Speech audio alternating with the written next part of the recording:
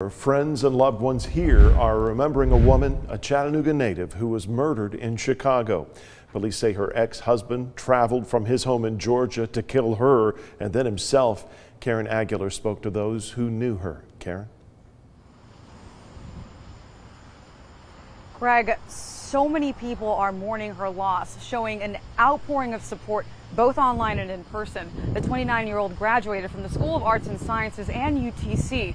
She impacted this community tremendously. It just breaks my heart. You know, um, she was a delightful, hopeful, energetic advocate for women. And we have lost that without her. Donna McConico is emotional, talking about Sania Khan, who worked at Signal Center for three years. Here she is with one of the other case managers. I understood the assignment. And was a talented photographer. Khan was gunned down senselessly in her Chicago condo on Monday. Shock that um, that someone could take such a wonderful life. You know, uh, it's unthinkable that um, that she's not here. Raheel Ahmed and Sania Khan were going through a divorce.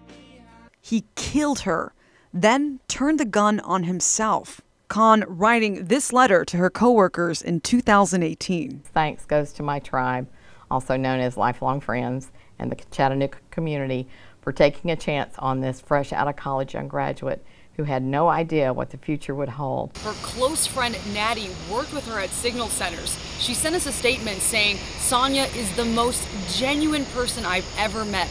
There was never a moment you had to question what her intentions were or what she was thinking. Leaving those who knew her heartbroken. I just want to say to anybody out there, if you are in danger, don't think you're overreacting.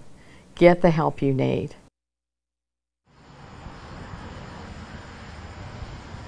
McConico says a vigil for Khan will be held this upcoming Sunday at CSAS. Reporting live in Chattanooga, Karen Aguilar, Local 3 News.